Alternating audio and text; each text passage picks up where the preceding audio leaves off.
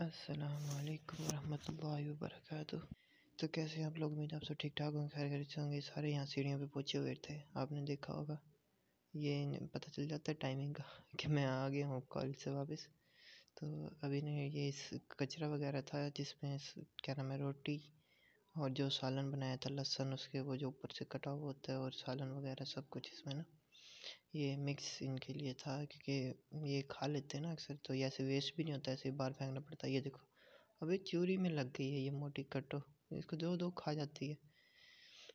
इसके लिए नहीं मैं चूज़ों के लिए लाया था, उन्हें भी खोलना है, सुबह उन्हें घर वालों ने खिला पिला के बंद तो कर दिया होगा। बट अब मैं खोल के खुद बैठूँगा ताकि इनको कफे वगैरह कुछ ना कहें। ये रहे हमारे चूज़े, बहुत ही बेताब होते हैं ये बाहर आने के लिए देखना। पिंजरे में टकरे मारते हैं उछल उछल के जम करके कि हमें बाहर आने दो। अब इन्हें खोलते हैं और इन्हें डालते हैं। आज एक गुड न्यूज़ भी है। तो जो हमने, जो इनका दड़बा बनाना था ना लकड़ी का, उसके लिए लकड़ी आ गई है, वो कटवा भी ली है। और आरे वाले से ना उधर टाल टाल कहते हैं आई थिंक जो भी कहते हैं, हमारे यहाँ तो टाल कहते हैं, पता नहीं आप लोग क्या कहते हो, जहाँ पे लकड़ियाँ वगैरह कटती हैं। तो वहाँ से वो कटवा के ले आए हैं, वो भी मैं आपको दिखाता हूँ। वो उसका, इनका घर बनाएँगे। मैं एक मिनट रोटी उतार दूँ इनके ऊपर से। फिर दिखाता हूँ आपको एक मिनट। प्लेटों में लगे उधर ये खा रहे हैं, उधर वो खा रहे हैं। मैं आपको इतने लकड़ियाँ दिखा देता हूँ, ये देखिए पड़े ये कुछ फट्टे हैं और ये लकड़ियाँ इनका इंशाल्लाह ये चार फुट तक का दड़बा बना देंगे। इनका घर बना लेंगे, जिसमें ये और मुर्गियाँ वगैरह रख लेंगे। मुर्गी, मैं सोच रहा हूँ ये रखूँ या मुर्गी रखूँ। अभी तो जब तक मुर्गी नहीं आती इनके पैर बना के रख लेंगे, वरना जब मुर्गी आ जाएगी, फिर इन्हें इसी जगह पे रखेंगे, खुला मुर्गियों को रखेंगे, क्योंकि वो अक्सर पिछला मुर्गा भी था ना इन्हें मारता है। बहुत ज़्यादा। अब देखते हैं कि बच्चे, माशाल्लाह से आज वो तकरीबन पिछले से, पिछले संडे हुए थे, तीस तारीख को।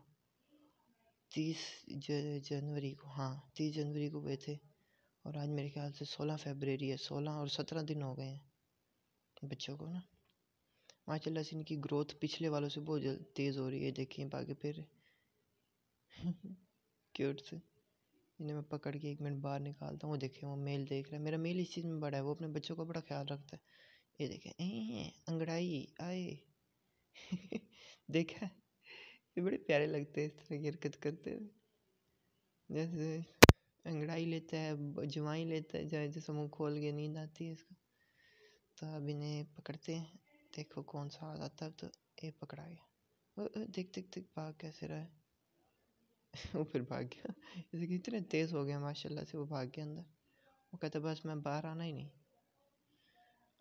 आए, मैं आपको दूसरा निकाल के दिखाता हूँ, एक मिनट। वाइट वाला हाथ में आ जाए, वो दिखाता हूँ। ये देखें कितना प्यारा है।